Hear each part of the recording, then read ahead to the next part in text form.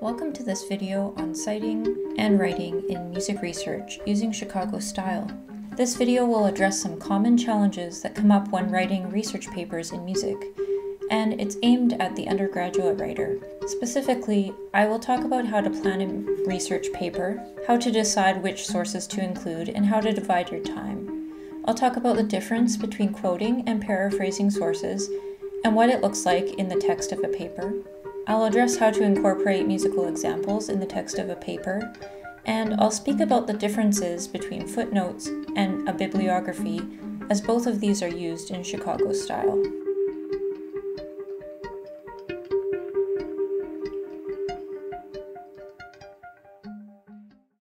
In advance of working on a research paper, it can be extremely helpful to plan out your time. Obviously, you'll want to leave some wiggle room in case something takes longer than expected, but nothing can be more stressful than trying to write an entire research paper with only a couple days before the due date. One strategy is to think of dividing your time into thirds. One third of your time is going to be taken up searching for sources on your topic and reading or skimming them to make sure they're relevant. As part of this step, you may do some note taking or highlighting, jotting down any important points that you might want to incorporate into your paper at a later time. Make sure you also record the page numbers and where these passages are in the source, as you'll need those for your footnotes and to find that passage again. The second step of this planning process is devoted to writing and incorporating sources into your paper. You'll need to have a balance of your own words and thoughts, as well as the ideas of reputable authors in your field. The third section of this process is devoted to editing and proofreading. This is a critical step where you'll probably realize you need to fill in some holes in the text of your paper or realize that you've repeated yourself one too many times. The more revisions you make, the better your paper will become. You may want to read your paper out loud, a practice that can help to clarify your ideas and highlight grammatical errors. You'll also want to check that all your citations and references are formatted according to the citation style you've chosen. A simple Google search will lead you to some of the many guides out there to help with formatting citations. When you're considering the types of sources to include in your paper, you will want to take a critical lens. Not all sources are reliable or suited to your topic or purpose. Research articles are typically based off of the work of others, in that they reference primary, secondary, and tertiary sources. The sources that you choose show the reader that you are knowledgeable in the topic because you're aware of the surrounding scholarly conversation. When you choose sources on a topic, you are able to demonstrate that you can make a link to the research that has come before you. However, in your paper, the conclusions that you draw from these sources should be your own thoughts and ideas.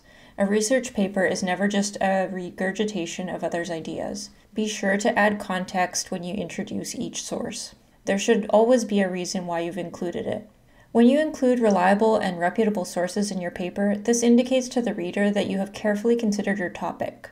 Finally, when you cite your sources clearly, this is a way of attribution and respect. As well, in the case of papers submitted as part of a course, it's a way of avoiding plagiarism. Sources might be incorporated into your paper in one of three ways by quoting, by paraphrasing, or by summarizing. When you're using quotations, you're going to use the author's exact words placed inside quotation marks. A quote typically uses a narrow excerpt from the source. As I mentioned previously, you'll accompany the quote with an introductory statement or setup that explains the significance of the quote itself. You need to give the reader some context and make sure that the quote isn't hanging on its own in the paper. Paraphrasing is a way of using the ideas of the source, but putting it into your own words. When you're paraphrasing, you should make sure that none of the text of the source is duplicated in your paper. You've got to find a new way to say the same idea. Usually, when you're paraphrasing, your words will be shorter than the original excerpt that you're citing. Finally, another way of incorporating the ideas of another author are to summarize. When you do this, you put their main ideas into your own words. In this case, your writing will be significantly shorter than the original source. Sometimes, for example, you'll be summarizing just the main conclusions of the journal article or book chapter. Most importantly, whether you are quoting, paraphrasing, or summarizing, you should always cite the author of the original source.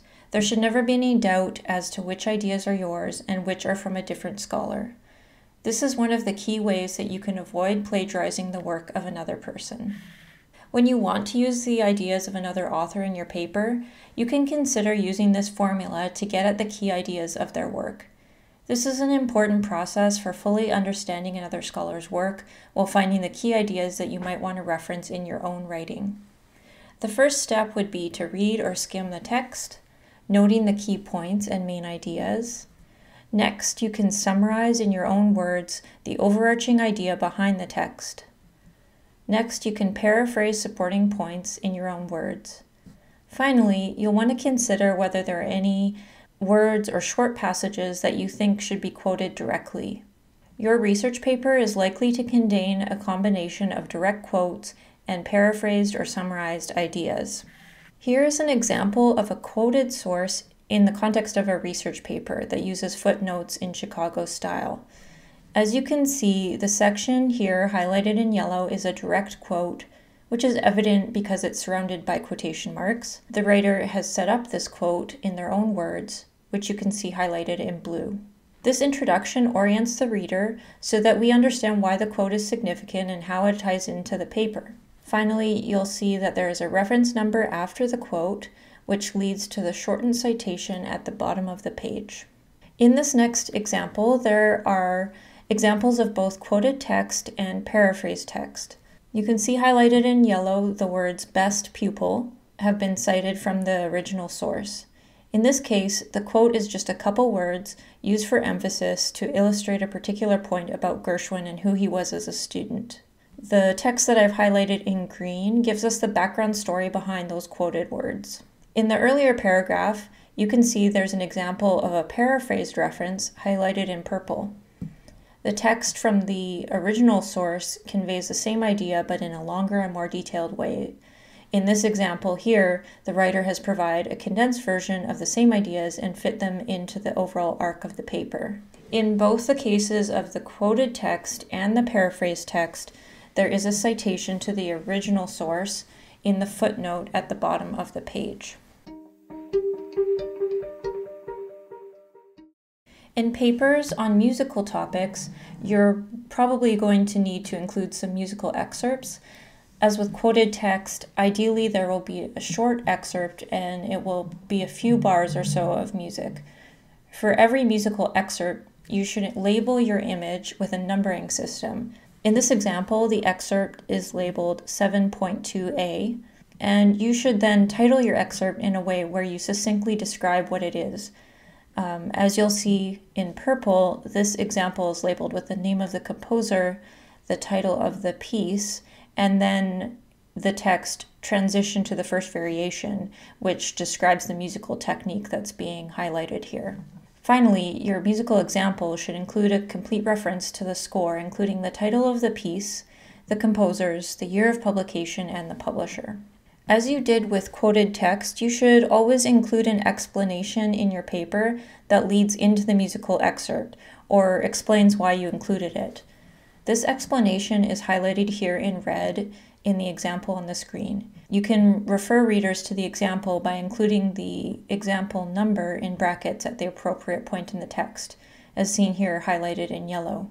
You can include the image of the musical example in between any two paragraphs, either before or after the relevant text. If possible, make sure the reader doesn't have to flip to another page to find your musical example. Music research papers are often formatted using the Chicago Manual of Style.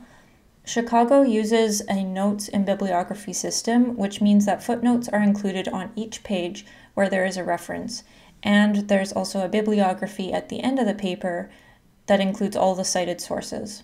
The way that footnotes and bibliography entries are formatted are slightly different. As you can see here, Bibliography entries are written like a series of separate sentences with periods after each element.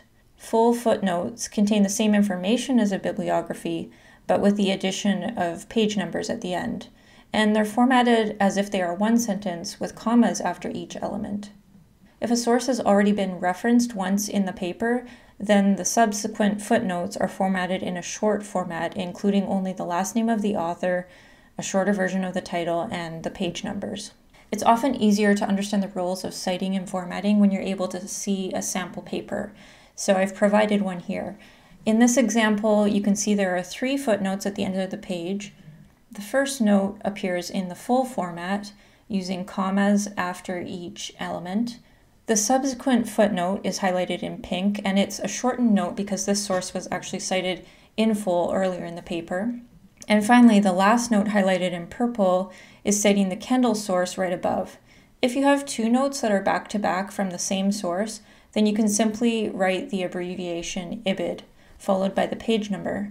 Formatting papers in this way can take time at first, and it can sometimes seem overly complicated. So give yourself some extra time to make sure you've got it right, and it will get easier with practice. I highly recommend reading some sample papers to see how formatting appears on the page. Here are some helpful resources that you can use to learn more about citing, formatting, and writing using Chicago style. The Chicago Quick Guide includes examples of how to cite different types of sources in full note, short note, and bibliography style. The OWL Purdue website is a great source for anything related to citing. They have a section on how to cite in Chicago style, including a sample paper. The Short Guide to Writing About Music by Bellman has examples of how to incorporate musical examples into a research paper. It also has a sample paper and some examples of how to cite musical sources using Chicago style. Finally, the Chicago Style Guide for Music is a USask resource that gives examples of how to cite music sources in Chicago style for a bibliography. It can be very difficult to remember all the rules of citing, and turning to a help page or a guide can save you a lot of time. This video included a summary of some of the best practices for planning your writing process, an introduction to citing and paraphrasing, some examples of how to include musical examples in the text of a paper, and some examples of how to format footnotes and bibliographies in Chicago style.